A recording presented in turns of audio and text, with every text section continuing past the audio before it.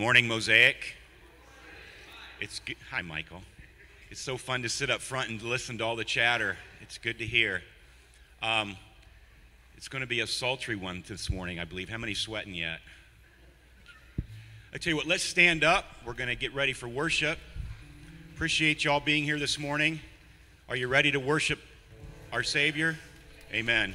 Let's pray. Father, we thank you, Lord, for this wonderful morning. Lord, we're grateful for the weather that we have.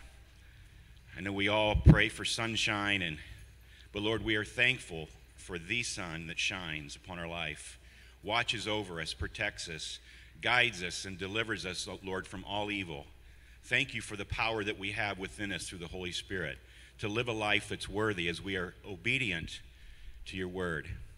Help us, Lord, this morning to come with open hearts, to receive all that you have for us this morning Lord, we lift our hands and we say, Lord, here we are. Minister, Lord, to us this morning as we come to worship you, to minister to you, and to give you all of who we are. Lord, for you are worthy this morning and for every day. You are worthy of all of our praise. And we praise you this morning with our worship and song. Bless Tony and whoever brings the word this morning, Lord, that it will be piercing to our hearts and to our spirits. To be living out, Lord, every day the life that you've called us to. We give you praise and thanksgiving in Jesus' name. Amen.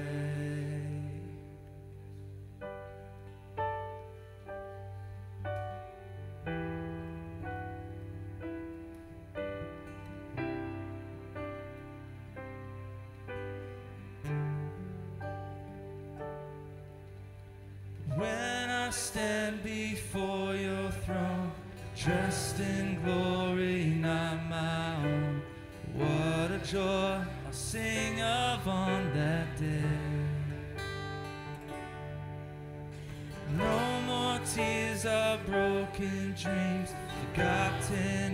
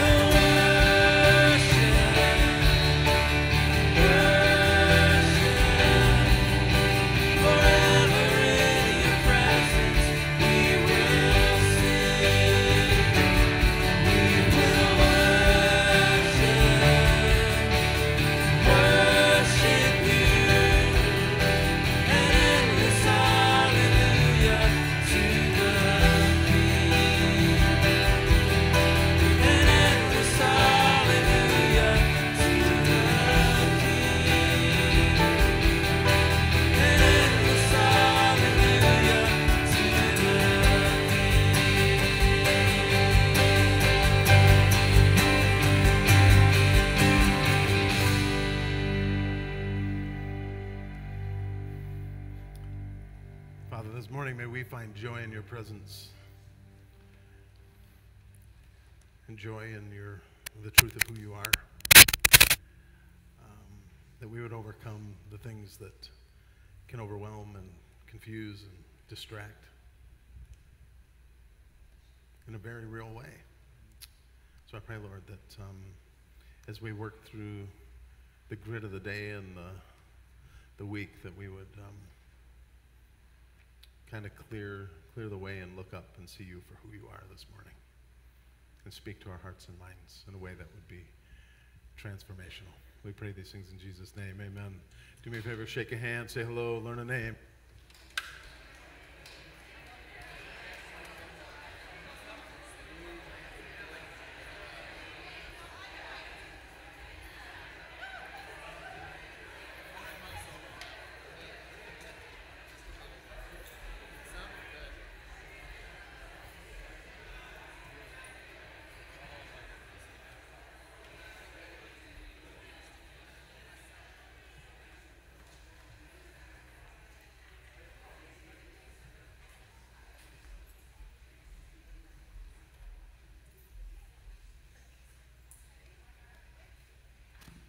Good morning. Hi, everyone. Welcome to Mosaic. My name is Heather, and I am so glad that you could worship with us this morning. It is great for you to be here. If you are a first time visitor with us, uh, there is a white pamphlet on the back of the pew in front of you, and it's titled Things You Might Want to Know. So go ahead and take a look at that, and it'll give you more information about who we are here at Mosaic. There is also a gray connection card, and if you're a first time visitor, you can fill that out with your information and take it downstairs, and we have a welcome center. And so we would like to thank you for joining us this morning, and we have a little something for you. So we invite you to do that uh, if you if you are a first time visitor. Uh, other than that, uh, that gray connection card is your tool to communicate with us. So if you have a question or comment, interested in serving opportunities or what's going on here at the church, go ahead and fill that out on that connection card. And once you do that, you can take that to the Welcome Center as well, or you can drop it into one of our giving boxes. We have them located out here in the narthex and out each of these doorways into the main hallway. So you can just find it there and drop it in. We'll be sure to follow up appropriately. We have some great events coming up, so we just really want to share those with you.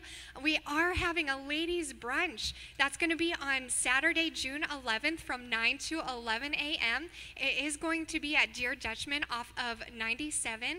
Uh, so all ladies are welcome. Feel free to bring a friend. It is $9.99 for breakfast, and that includes everything. Let me tell you, it includes a breakfast buffet, a beverage, and tax. So it's all inclusive for just a short fee of $9.99. So come on out on June 11th uh, from 9 to 11. All ladies are welcome. So that's very exciting.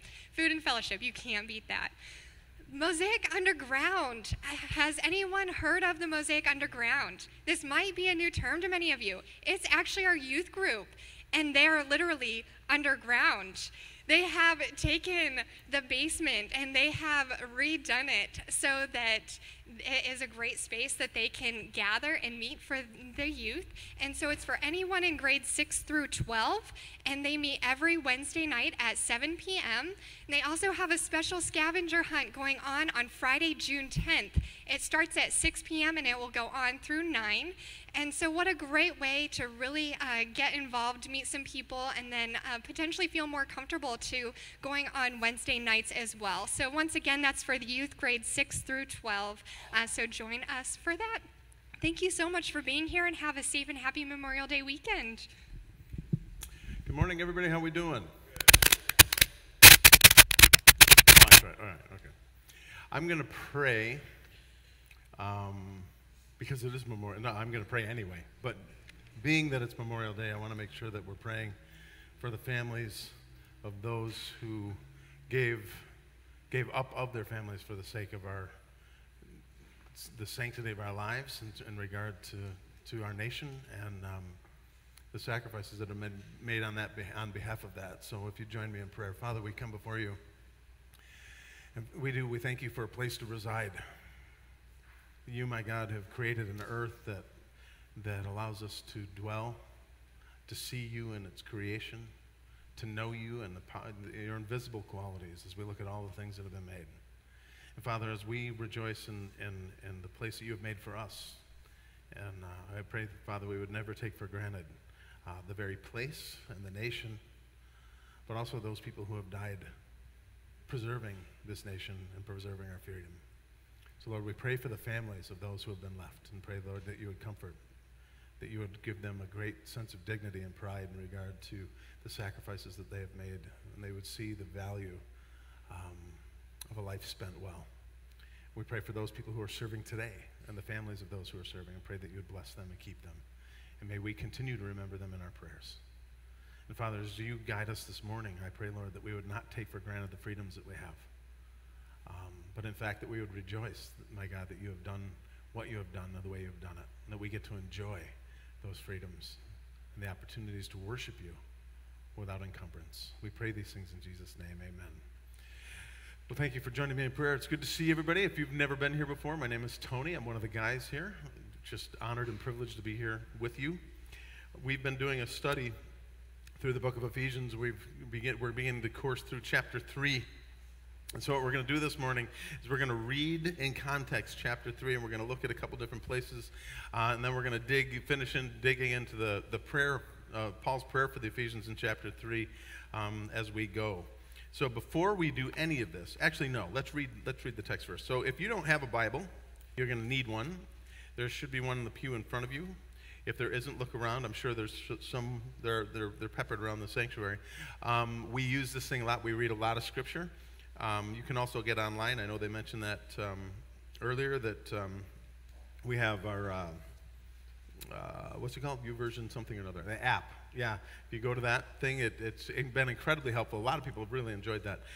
But we'll be in Ephesians 3. By the way, if you don't own a Bible, keep the one you find in the pew. If one would better suit your needs, let us know. We'll do, we'll do our best to accommodate you. Um, whether it's large print or study Bible or something or another translation, anything we can do to help you be in the Word, we want to do that. So we're going to be in Ephesians chapter 3. Did I already say that? Okay, we're going to start reading at verse 1. I'm going to pray before we read. Father, we thank you for your word. We pray, Lord, that as your word begins to enter into our hearts and minds, that it would that it will infiltrate, uh, infiltrate every nook and cranny and that it would, it would plant seeds of transformation in our hearts, minds, and souls. So, Lord, help us to see you, to learn from you, and to know you better. We pray these things in Jesus' name. Amen. So, we're not going to spend a lot of time in this front end, but I do want to read this in context. So it says, For this reason, for what reason? This beautiful thing that God has done. And in, in saving us, forgiving us, adopting us, empowering us, moving through, we, uh, you know, the idea in chapter 2 that we were dead in our transgressions and he brought us to life. We are now uh, works um, we are his masterpiece, created to do good works prepared in advance for us to do. And then he talks about this mystery, this great mystery of bringing the Gentile and the Jew together in Christ Jesus, that he would bring peace between man and man, and then man and God. And he would do this through the person of Jesus Christ. He says, Now, for this reason, I, Paul, the prisoner of Christ Jesus, for the sake of you Gentiles, this Jewish man who was being trained to be a Pharisee, who persecuted the church at one time, was then chosen and called by God to be his mouthpiece to the Gentiles. That's who Paul is. Verse 2 Surely you've heard about the administration of God's grace that was given to me for you. And we looked at this last week in Acts chapters 7 to 10. And Paul's conversion, and Saul's conversion in particular, he was persecuting the church. Jesus grabbed a hold of him and said, You are mine, and then commissioned him to go out to the Gentiles. So that's what he's saying here. Surely you have heard about the administration of God's grace that was given to me for you. First, God's grace in saving him, choosing him, calling him to himself, then commissioning him with the gospel, and then the gospel specifically to the Gentiles. This is what God has done by his grace, his will, and his wisdom in, through the life of Paul. So surely you've heard about the administration of God's grace that was given to me for you. That is the mystery made known to me by revelation, as I have already written briefly. In reading this, you, then you will be able to understand my insight the, into the mystery of Christ. This idea of God reconciling all of mankind to himself in Christ Jesus, which was not made known to the people in other generations as it what has been now been revealed by, this, by the Spirit to God's holy apostles and prophets. So through all of this time, through the ages, this mystery has remained in the mind of God and now has been revealed in the person of Jesus Christ at just the right time. Now, this is really important for us to get. It's just the right time.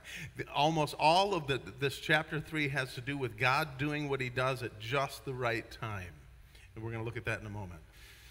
So, in reading this, then, this letter that I'm writing to you, you will be able to understand my insight into the mystery of Christ, this uniting of Jew and Gentile in, the, in, in Christ, which was um, read this mystery of Christ, which was not made known to people in other generations, ages before, as it has now been revealed by the Spirit to God's holy apostles and prophets.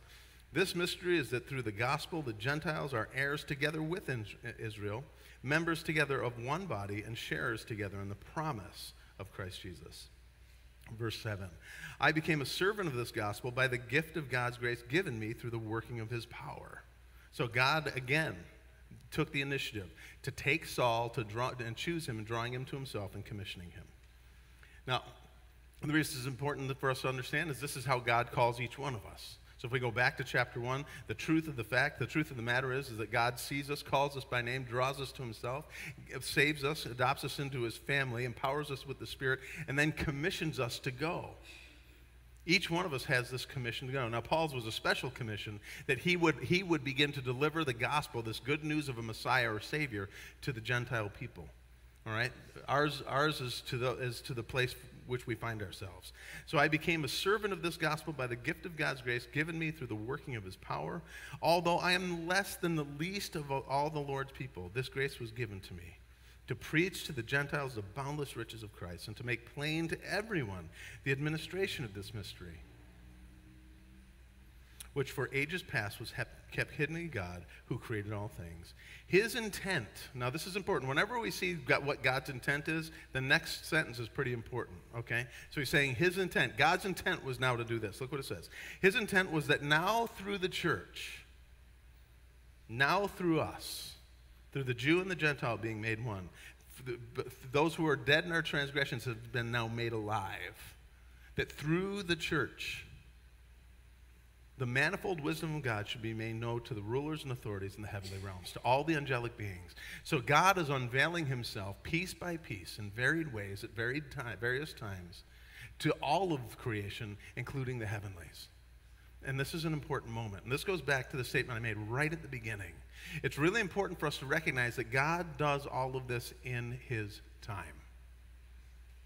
If we go back all the way to the beginning when God began to reveal himself to mankind, he revealed himself in chunks. Now, Adam and Eve lived perfectly with God.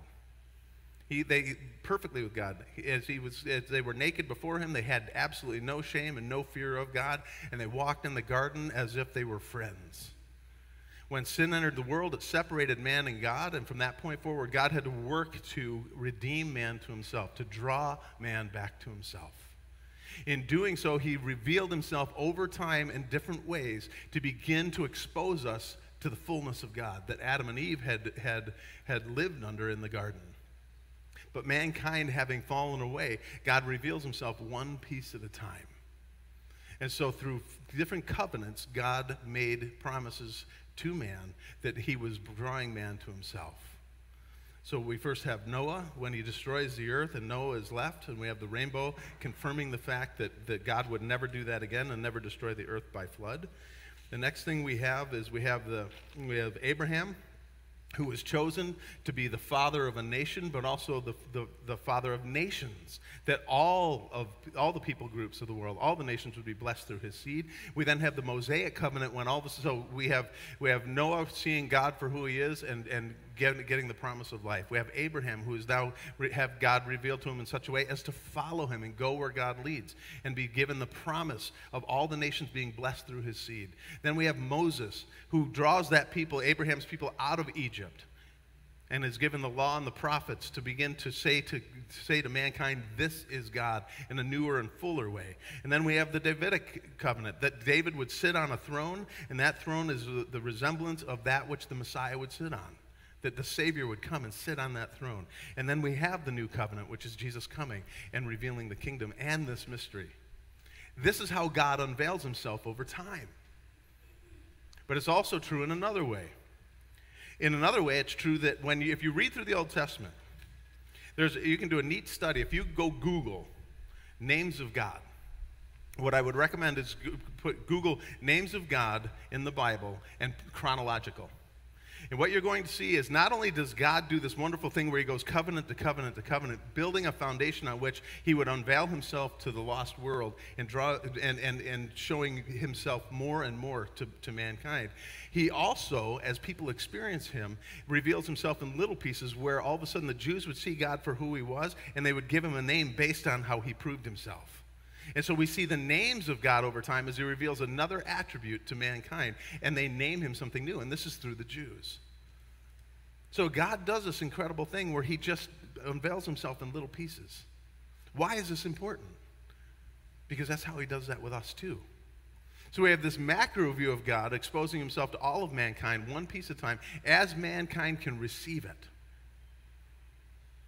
We also have a micro view of God that when God sees fit, He reveals Himself to us in such a way as to meet us right where we are, just the way we need it, just the right time. And listen to me, only in the right time. If He were to reveal too much of Himself to us, we would have to run. If, we were, if He were to reveal too much of ourselves to us, we would be crushed. By his mercy, his grace, and his wisdom, he only reveals what we can handle at the time to see him for who he is as we need and can receive it. And this is his mercy, his grace, and his love as he exposes himself to us. So for me, when I first came, you know, with the idea of knowing God, when, you know, is, is when, I, when I finally came to him, what does it say in the Proverbs? It says, the, is, the fear of the Lord is the beginning of knowledge and wisdom.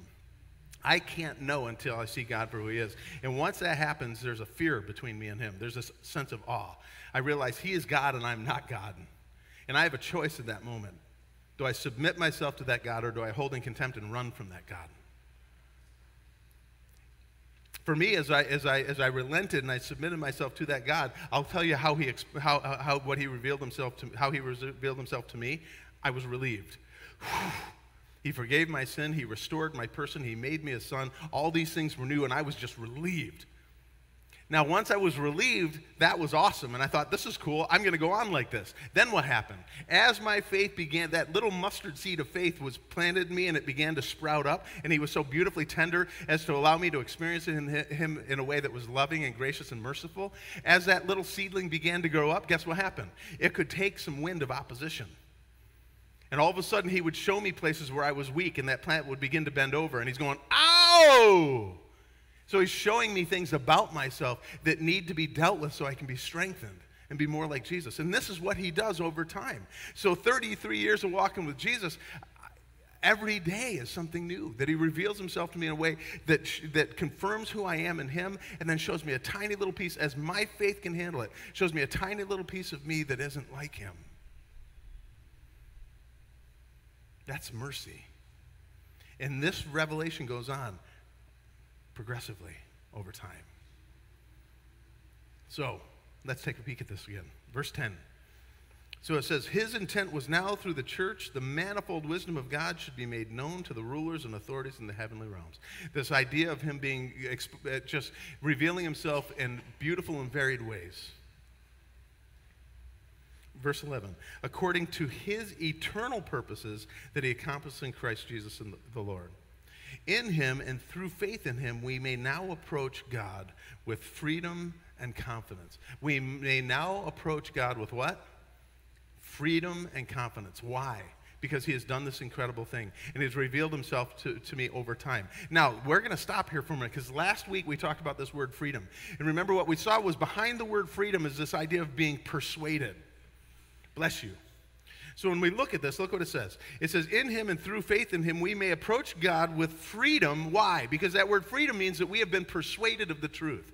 We know the truth and we are convinced of it being true. And because of that, I can approach God with confidence and with freedom. Now, one of the things I wanted to make sure we understood from last week that, that I don't want to have get lost is this. This persuasion our being persuaded of the truth of this is as progressive as anything else that God does in our lives. We can only be convinced of that which we know. So as God reveals himself to us, he, we now have this new knowledge of who he is. And now what we do is as we walk with him, we are more, more convinced of that truth. And ha- having been convinced, we are now persuaded of that truth. And that persuasion of truth and that new truth comes again every day. So look what it says again. And there's a reason I want to remember that this is progressive, and we'll talk about it in a second. In Him and through Him, faith in Him, we now may approach God with freedom and confidence. We can come before Him knowing the truth, being girded by the truth and strengthened by the truth of who He is and who we are to Him. We now can come to Him freely and with confidence. But what does this mean? Think about this for a minute. Have you ever been in a relationship where you knew you had to talk to somebody and it was totally they were totally approachable? Like you had total access to them in such a way as to be free to come to them, but when you got there you didn't feel free to speak? Anyone ever feel that way? That you have you have access, you can get there, but once you get there, you're not sure if you can actually say what needs to be said. Anyone ever feel that way? Is that an unnerving thought? Isn't that an unnerving thing when you know you know you have access to the person, but when you get there, you're not sure that you can actually say the truth? let me let me make sure this is clear. And this might be one of the most important things we learn in this moment. This freedom and confidence that we have in being able to approach God is that you know we talked about the fact that we now have we are free to go into his presence. When the curtain was torn from top to bottom when Jesus died and the curtain in the temple was torn from top to bottom the Holy of Holies was exposed. And the invitation was given to us for us to go before God in His presence without the assistance of a priest going on our behalf. That's awesome.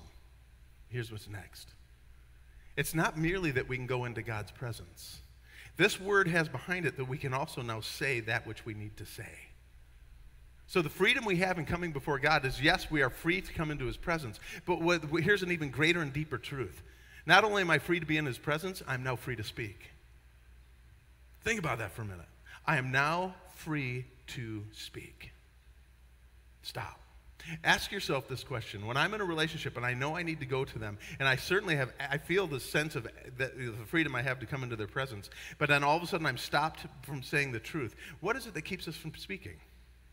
What are the things in our mind that keep us from being able to say the things that need to be said? It's usually fear fear of being shunned or being offensive or being offended, fear of being judged for what I'm going to say, or fear of being condemned, fear of being laughed at, fear of conflict. This is how important this moment is. You ready for this? God not only freely allows us to come into his presence, but he then gives us permission to speak freely to him in a way that alleviates fear of condemnation, fear of judgment, Fear of, ha- listen to me. Here's a, here's, a, here's a special one. You ready? Fear of having the right words.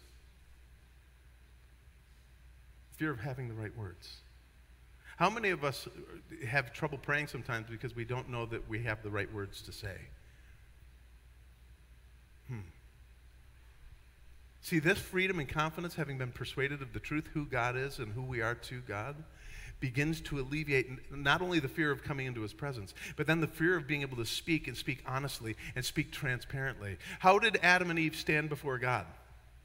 Naked, and there was no shame. This has been restored to us in the heavenlies. And this freedom gives us permission not only to come into his presence, but then to speak what needs to be said, even when we don't know the right words even when we don't have the right words. Because you know what? It's not, it's, God doesn't necessarily care about our vocabulary or whether we can say it right. And how committed is He to that? He says that my spirit will pray for you when you don't have words. My spirit will pray for you when, in ways you can't even begin to understand. That's how awesome God is. That He has opened this way not only to be in His presence, but then to speak freely. And then when we don't have the words and we're afraid we're going to say the wrong words, the Spirit speaks for us in ways we can't even begin to imagine. We have utter freedom before God. Why? Because of who He is and who we are to Him and the work that Jesus has done to get us there. And once convinced and persuaded of this truth, we can now come before Him and not only come into His presence, but then speak freely. And isn't a wonderful thing when we can be transparent and honest with ourselves and with one another? And how much more so when this is God? And He wants to hear our hearts. He wants us to pray those prayers. He is not going to condemn us. He's not going to judge us. He's not going to shun us. He's not going to laugh at us for stuttering and stammering and not having the right words. He's not going to turn his back on us. In fact, he will sit and he will listen. And he will sit sometimes even quietly. And there's, there's an even bigger rub, isn't it? You know, I've been married 32 years, and I like being married 32 years. You know why I like being married 32 years? Is because I know my wife in a way I've never known her before. I thought when I, knew, when I met her and married her, I thought, ah, I know this woman, this is awesome. After 32 years, you know what I figured out? I know less now than I knew before. There's so much about Sherry and the depth of who she is. The more I get to know her, the more I realize this is a woman I will never be able to plumb the depths of, ever. And if that's true of my wife, how much more is true is that of my God? And here's what's really cool Remember when you were dating, those of us who were married, you remember when you were dating and you were like, you know, you're, you're actually maybe thinking about getting married and you're at dinner and the conversation begins to wane and there are no words and in your head you're going, oh my goodness, we don't have anything to talk about. This is really awkward. I don't know what I'm going to do. And if this is the way it is now, what's it going to be like if we're married? Anyone remember that moment? Oh man, I must be the only one. Okay, well, here's the deal. Listen. Here's what's really cool. You know what happens after you're married 32 years? The best conversations we have are the ones where there are no words. Listen to me.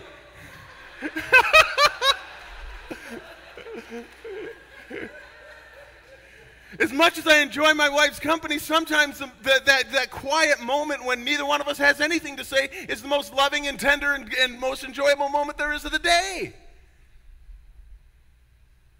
When you grow in love and you grow in trust and you grow in fidelity and you grow in all these things where your relationship begins to deepen, the fact of the matter is, is words don't come. So we, when we come before God, not only are we free to come into his presence and speak freely, we're also free to come into his presence and then we are free to say nothing. And it's okay. Just sit with him. He'll speak for you. He knows more than you do anyway. About you and about your circumstances. And this is the wonderful majesty of our God who just loves us perfectly, just in time, and just the right way. It's to not only get, allow us to come into his presence, but then to speak freely or not speak at all when we're there. And this is transformational. This is the knowledge we need to have. And frankly, listen to me, to make known that this is how wonderful this God really is. So let's read on. So, starting verse 12 again, in him and through faith in him, we may approach God with this incredible freedom, this having been persuaded of the truth and this confidence. And I ask you, therefore, not to be discouraged by my sufferings for you, which are your glory. Verse 14. For this reason, I now kneel before the Father, from whom every family in heaven and on earth derives its name. Every people group, every nation who have been created by God and are now called by Him. For this reason, I kneel before the Father, from whom every family in heaven and earth derives its name. And I pray that out of His beautiful character and abundance, He would now strengthen you with power. He would now, bless you, bless you. He would now strengthen you with power. Now, here's one of the things I want us to do. I want us to look at these two words, strength and power, because in this context, they mean some different things. Look what it says. Ready? So, so for this reason, I kneel before the Father, from whom every family and nation in heaven and on earth derives its name. I pray that out of his incredible, the richness of his character and abundance, he may now what? Strengthen you. You know what that word strengthen means? It has behind it the idea of confirmation, having been confirmed. You know what it is to be confirmed? To be let know that what you know is true, and that not only is it true, but I'm going to make sure you know that it's true. He's confirming the truth. That's what he's doing. How do I know that? Because the rest of the meaning of this word has an even deeper and more profound act. Listen, first, he wants to confirm the truth in us, to make me strong, so that when I receive the truth, I will now gain upper hand as to prevail over opposition. Let me say that again. So he strengthens me by his Spirit, and the strength is the confirmation of the truth, that I would know confidently and for sure that what I know is true. He would confirm that. And what that enables me to do is give me mastery over what I know, as to have the upper hand whenever I'm opposed. Stop. What do you mean opposed? What could possibly oppose? Hmm. Remember last week I talked about the fact that I was talking to a young person as we were going talking about this study, and she was saying, "Man, I've learned so much of this stuff, and I, you know, it just, you know." And I said, "Okay," and and and I, I just think I just think I've heard it a lot. I said, "Okay, that's cool. Let's go back to Ephesians one and review." We got to the verse that said, "You are holy and blameless in His sight." And I said to the person, I said, "Are you holy and blameless in God's sight?" Well, no. So I asked it a different way. Okay, well, do you see yourself as holy and blameless in God's sight? Well, no. All right, let me try one more time. Do you think God sees you as holy and blameless in his sight? And she said, Well, no. I said, Oh, well, that's the truth. All the things we think we've learned, we don't believe to be true. What is he praying here? That not only would you know the truth in terms of being able to, you know, you cognitively assent to its truth. He wants you to be confirmed that it is the truth. In other words, once you know it, he wants to remind you of it and confirm the fact that it is true. And this confirmation strengthens us. Why? Well, because now we know the truth. What did Jesus say? He said, if you hear what hear my words and put them into practice, you are truly my disciples, and you will know the truth, and the truth will what? Set you free. He also said, the man a man, the man who hears my words and puts them into practice is like the wise man who dug down deep, down to the rock, and built his house on the rock, the truth. So, this confirming of the truth is what strengthens and frees us. And in doing so, what he's saying is listen, I'm going to give you the upper hand whenever you're opposed. Opposed by what? The lie. What is the lie? that you're not holy and blameless in His sight? What is the lie? That you're not loved by God. What is the lie? That I can't possibly be loved by God. What is the lie? That I sin too much for God to be able to actually forgive me. What is the lie? When I doubt God's existence or his, his love for me or my salvation. What is the lie? That I can't imagine the Holy Spirit could work through me. What is the lie? What is the lie? That's the opposition. So, what's he trying to do? To remind us of the truth and confirm its truth. What does that do? It strengthens us. How? So that when we're opposed by a lie, we can stand up against it and remind the lie of the truth. I am a child of God. I have been purchased by the blood of Christ. My sins are forgiven. I've been adopted as a son or daughter. I have been empowered by the Spirit. I am a new creation in Christ. He is making me to do good works prepared in advance for me to do. Isn't this beautiful? That's confirmation. He's praying that we would be confirmed in such a way as to now be able to stand strong in the face of opposition when opposition comes. And what is that opposition? Anything that would stand itself up against the knowledge of God and the truth of God. Because what happens if we begin to doubt? Do we come before God free and confident? No. We begin to wonder, hmm, can I actually come to God? And even if I do, can I actually say what I need to say? And what if I don't have anything to say or I can't say it right? Will He listen to me? Does He care? And what if I sin? Can I still come to God? Well, yes. Yes, if you know the what? Truth. And have been confirmed in the truth. And been given strength to fight against the what? Opposition. That's what this word means. So look what it says now. For this reason, I, I kneel before the Father, from whom every family in heaven and on earth derives its name, and I pray that out of his, his, his, the rich and abundance of his character and resources, he may now confirm the truth in you in such a way as to allow you to have the upper hand against opposition. And he will do this with power through his spirit. Power. Now, why is this important? Keep your finger here and turn two books back to 2 Corinthians for a moment, chapter 4. We're going to start at verse 6. We're going to see why we need this confirmation, why we need this strength, and why this is of God and not from ourselves. That this strength comes from His Spirit and from His truth, and then the confirmation of that very thing. So here we are. We're at verse 6, 2 Corinthians 4. You ready? Here we go. It says, For God, who said, let, sh- light shine, let light shine out of the darkness, made His light shine in our hearts to give us the light of the knowledge of the what? Of the knowledge of God's glory displayed in the face of Christ. This truth. Verse 7 But now we have this treasure in what? In what? We have this treasure in jars of clay or earthen vessels. You know what this actually, what, what kind of jar of clay this is? This is not the pretty glazed vase that we think about. This is actually more like the red clay that we plant plants in. Fragile, frail, easily broken. This is really important. Why do we need such confirmation? Why do we need the power of God to remind us who we are and the truth of who we are and who He is and who we are in Him? Because we're so easily broken. We're so easily cracked. We're so frail and we're so fragile. He knows and remembers that we are made out of dust, and so He cares for us carefully and mercifully. This is a beautiful thought. He knows that we're made out of a dust, and so He cares for us with tender mercy.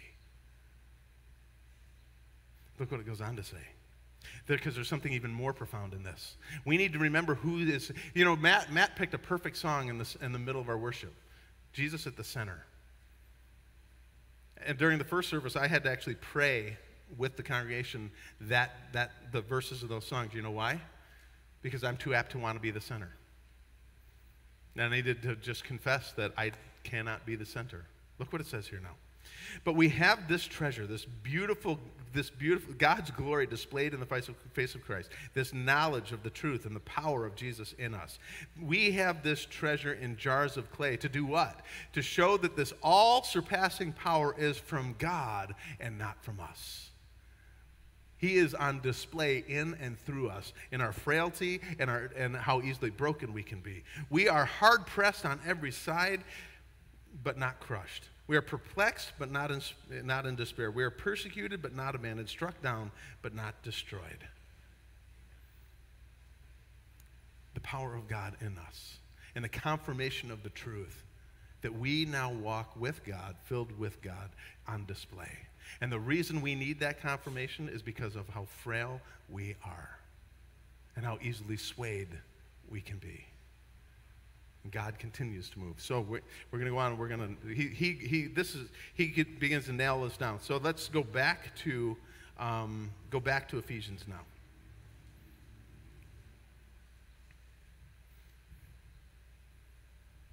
So, verse 16 again, it says, I pray that out of his glorious riches he may strengthen you, give you the strength and the, and the confirmation of the truth that allows you to stand against and overcome, have the upper hand against opposition with power, this incredible power of God, excellence in soul and excellence in nature. I pray that out of his glorious riches he may strengthen you with power through his spirit in your inner person, your inner being, your heart, your soul, your conscience. So that, and here, that word, that phrase so that is so important, so that Christ may do what? Christ may dwell in you we talked about dwelling last week, so I don't want to belabor this too much, but there's something I want to make sure we understand. As progressive as it is that God reveals himself to us, and he, just at the right time and just the right way, just as we can receive it, then he stacks those, that, those truths on top of each other to give us a fully orbed view of God, as, and it grows as we grow with him. So it is with the dwelling of, of him in our heart. Because here's the deal when we're saved, this is what happens. He calls to us, right? And He wins us over, forgiving our sin, and then He puts His Holy Spirit in us and He resides in us. That happens immediately and it happens indelibly. In other words, it can't be removed. So He is residing in us. So, this idea of dwelling and having this perfect and exact rep, uh, residence for God to, to permanently dwell in has not to do with, He's there when we're saved, but this is what it means. This idea of dwelling also means that he pervades, right? And he prompts. Pervade meaning he saturates, works through and saturates. That he prompts us toward himself and toward his commands, and then he governs our lives. Well, if, if, if, if he progressively reveals himself to us as to allow us to grow into his likeness more and more and to see him more and more as we're able to handle it, so it is with his dwelling inside of us. Let me give you a good example, a basic example. I used to grind steel. Okay, I used to inspect welds and grind welds just to make sure that they were good. Now, I was a Christian. I, worked, I was working in a shop, and, and, you know, that's a lot of welds. I used to work on these big, ex, really expensive cabinets. What I would do is I would start grinding those welds, and there's tons of welds in each one of these cabinets. And sometimes you get to the point where you've seen enough welds, you've ground enough welds, and you trust your welders enough, you're like, ah, there's some welds I'm not going to worry about. Can't see them anyway. It's going to be okay. What happened? Hmm. God said, okay, Anthony, here's the deal. I'm going to prompt you. So I'm going to begin to I'm going to begin to pervade you. I'm going to begin to work through you, and I'm going to I'm going to begin to tweak little areas of you that I, you've not allowed me to reside in yet. And one of them is going to be your work ethic. But let me talk to you about your work ethic. Your work ethic isn't just about how well you do your job. It's about how well you honor your boss and respect the recipients of this piece of equipment who are going to pay good money to get this piece of equipment. And all those people that rely on that equipment being well done and well taken care of and well constructed. Respecting everybody who everybody else who's worked on this. And then not to top it all off he shows me this verse and it says everything you do you do as unto jesus. I'm like go yeah! And all of a sudden, this progressive knowledge of God reveals himself to me in a progressive way. And in doing so, he gets into me in a progressive way and begins to dwell in places and begins to what? Rattle doorknobs I wasn't ready for him to, I didn't think I was ready for him to try to open. And I'm on the doorknob hoping he doesn't get in. But realizing that the truth he is speaking to me by his Spirit is showing me that he, he's calling me to be more and more like his son. And now it's up to me to cooperate with God, His truth, and the Holy Spirit in me. You know what I had to do? I had to inspect every weld.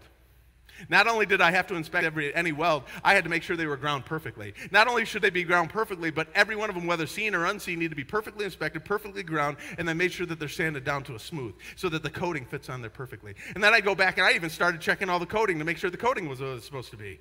Making sure when it got delivered that nobody nicked it on the way to, because why? That work was not only to be done well, but it was to be done well in a way that would reflect God in me. It would be a testimony to myself. It would be a testimony to my boss. It would be a testimony to everybody else I work with, the testimony of the person who bought that cabinet, who utilized that cabinet, and had to go later into work in that cabinet. My whole life was transformed by one stinking weld. Because the weld had nothing to do with it, did it? God was looking at my character and forming me and saying to me, Anthony, Anthony, this is how we work when we love. This is how we work when we honor. This is how we work when we respect. This is how we work when, you're, when, when you want to make sure you're earning your wage and you're honoring your boss and you're respecting the one who buys and you're a testimony to the people around you. And everything you do, they look at, and they look at through the eye of knowing that you're my child that changes how you do things. It changes you. This is what he's praying for us. That God would begin to dwell in us, the Holy Spirit would make room for Jesus in us in such a way as to allow him to be, be pervasive and to be able to leak into areas where he's not yet allowed. And he does this over time as, and revealing those areas where we have yet to give him full and free residence until we're ready to let go of the doorknob. And then prompting us, he then governs us, and we begin to live the way Jesus lives. Isn't that beautiful? So let's, let's finish this up. So he says, I pray that out of his glorious riches he may strengthen you with power through the Spirit in your inner being, so that Christ may dwell in your hearts through faith. Have a beautiful home that is a perfect residence, exactly fitting him, and progressively grows into every part of your person. And I pray that you, now being rooted and established in love, being deeply rooted in the fact that you are loved and established foundationally, so that when, listen, so that when opposition comes, you are not swayed. That's what we're talking about. Remember, we were talking about having the strength to stand against, have the upper hand against opposition? So it is here that the love of God knowledge of the love of God would be such, it would be so foundational that when opposition comes or any doubts come, we are not swayed by it, but we're firmly established in this truth. So that Christ may dwell in your hearts through faith. And now I pray that you, being rooted and established in this love, may now have, now this is really important. We see what that love is. Look, look, and I pray that you, being rooted and established in love, may now power together with all the Lord's holy people to do what? To be able to comprehend or grasp this love. Look what it says. Now, I want to go back and I want you to see what this word power means because everywhere we go, power means a little, something a little bit different. And so, this is what this word power means. You ready? This word power, look what it says. We're going to put it in context one more time.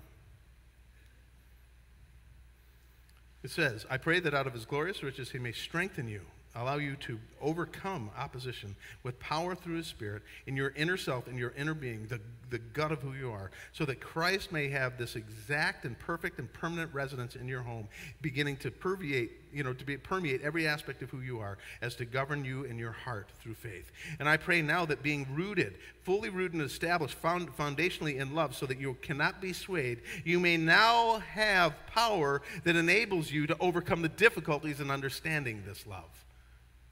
That's what that power is. Stop. You ever wonder how God can love you? No, no. You know that moment when you want to come and pray and you know you can come into his presence, but you're a little embarrassed and now you're not even sure if you're allowed to say what you're supposed to say? That moment? We talked about it earlier. You ever wonder at that moment how God could possibly? You ever, you know, when a word slips or a phrase slips out of your mouth that you wish hadn't, and you're a little embarrassed and you wonder if God will hear you? When you've conducted yourself in a way that may be unbecoming and you wonder if God could possibly love you? When you've sinned brutally and you wonder how can God possibly love me? When you just recognize your humanity and frailness. We love me. You know why we need to have the power to understand this love? Because it's hard to understand. That's how real this moment is. It is hard to comprehend and grasp and listen, fully seize the truth of God's love, how big and great it is. Because we so often listen to lies that tell us that it's not true. And so Paul is praying. This is God's prayer for us through the pen of Paul to say, listen, I know how frail you are, and I know you're broken. But what you have in you is so great. And I know it's hard for you to understand that I would love you the way I do, but I promise you that I do. And not only do I love you, and you need to be rooted and established in that, but I want you to see just how big my love is. Look what it goes on to say now. So, so that Christ may dwell in your hearts. And I pray that you, being rooted and established in love, may have power together, the, the ability to overcome the understand with all the Lord's people to grasp, to comprehend, to seize how wide and how long and how high and how deep is the love of Christ. And to know this love that surpasses our understanding. How big is God's love? Bandon, would you get in place, please? How big is God's love? How broad is God's love? How wide and how deep? So big, so wide, so high, so deep that we, it, it is all pervasive that there's no way for us to exhaust it. There's no way for us to get to the limits of it. There's nothing that we can do to be separated from it. Read Romans 8. And his prayer is that his spirit would move in us with such a power as to help us overcome our misunderstanding or our inability to understand it. That we would be confirmed constantly and reminded of the truth, not only of his love, but how huge and, and massive and inexhaustible his love is. That's what God's looking for. That's what He's us, and that's what He's looking to do. Does this make sense this morning? All right. Verse 20. Well, 19. And to know that love that surpasses knowledge, that you may be filled with, to the measure of the fullness of God. Now look at verse 20. Now to him who is what? To him who is what? This is the confirmation to him who is able to do immeasurably, immeasurably more than all we ask or imagine, according to his power that is at work within us. To him be glory in the church and in Christ Jesus generations forever and ever. Let's sing.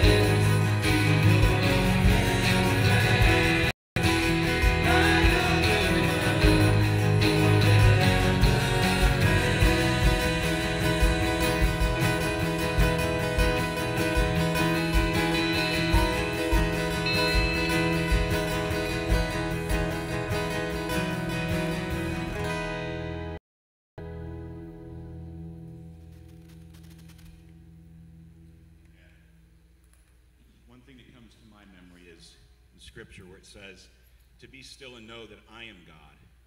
So many times we have too many people talking, even though it's great to know we can come into his presence and and speak at any time. Have you ever had relationships where somebody does all the talking?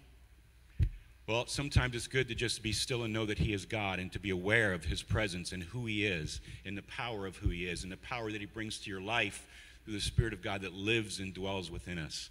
I love Scripture when it says the same power that raised the dead lives within me and lives within you. That's power. Thank you, Lord, for that power. Let's pray. Father, thank you, Lord, for your word this morning. Thank you that we can come into your presence. Lord, we can open that door and walk freely in and know that we have the freedom to speak and to. But Lord, it's, it's good, Lord, to just sit into your presence and to know that you are a God and that you have things to speak to us. May we have an ear to hear what you would have to say to us, Father. And through hearing your word, Lord, that we'd walk in obedience and be faithful to the calling bestilled and, and given to us, Lord, and bestowed upon us. Lord, may we be the light into a world that is darkened. But Lord, thank you that you brought the light into all of our lives and into this world. May it be shown through us and each and every one of us, through our quiet time and through our time with you in your presence. Thank you, Lord, for that curtain that's been torn. Thank you, Jesus, for what you did at the cross. We are forever and eternally grateful. Lord, bless us this day as we go forth. Thank you for all of those who have served, Father, in our armed forces. Family members here that do have serving now, Lord. I pray protection over each one of those members that are serving. And thank you for those that have gone before us, Lord, and served and gave their life. Lord, we are grateful for that as well. Bless us, Father, we pray this day. And to God be the glory and the honor. In Jesus' name, amen.